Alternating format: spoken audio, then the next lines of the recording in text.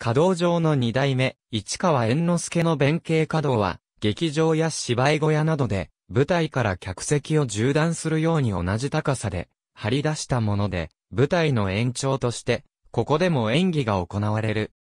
舞台から一続きの廊下のように見える。歌舞伎等が行われる劇場では、役者が舞台上に出入りするために使い、下手寄りにあるものを、本角道、上手寄りを、仮花道という。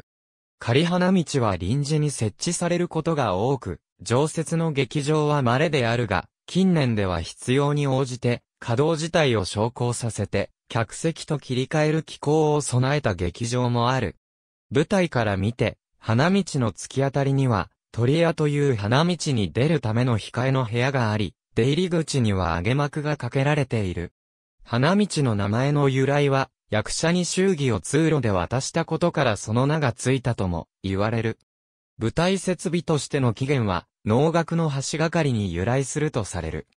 歌舞伎では、花道から登場する人物は、73の位置で、一旦動きを止め、短い演技を見せるのが定石である。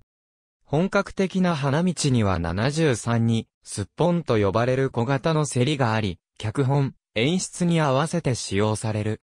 観客から見て二次元的な存在の舞台上から、役者が客席側に出ることで三次元的な演出を可能にしている点で、演劇史上特筆すべきものと言える。現代劇でも使用されるが、客席によって役者との距離が大きく変わり、内容があらかじめ分かっていることの多い歌舞伎と違い、観客に不公平感を持たせてしまいやすいこと、また客席が少なくなってしまうため使用されることは少ない。プロレスにおける花道。ありがとうございます。